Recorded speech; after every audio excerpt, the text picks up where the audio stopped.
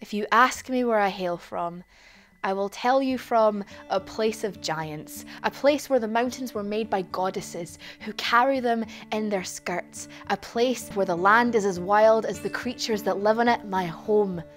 A place I carry through the grit in my spirit, the grit under my fingertips, the waters clean and cold lace around my mouth, fill me with so much wonder, fill me with so much wilderness Alba.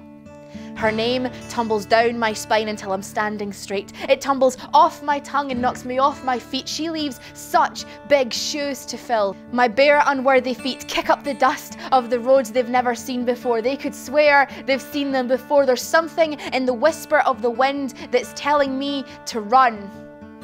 Run with all the strength in my legs, anywhere, everywhere, but never backwards to see the sea and her curved coast neckline, craned for the kissing of rocks and sand, to live like no one is watching, like it's just us, to scream with abandon. She understands there's a song in my veins. It sounds like the hills in the morning, sounds like the rivers drumming their own thunder to answer the sky. It sounds like my grandmother humming.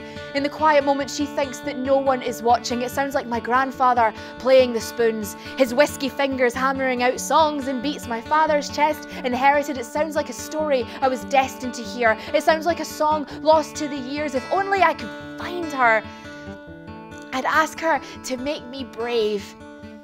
To sing the song of the ancients, raise this truth from its grave. I'm a descendant of the forests and the hills and glades. I'm a child of Alba. I was born to be brave. I will not falter or choke because I was baptized in the water straight from her throat, and maybe I will never find the giants with mountains in their skirts.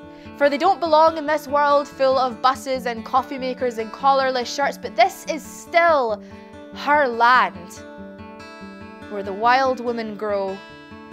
And I can walk her roads, they always lead me home, and I can sing the songs that we all forgot that we know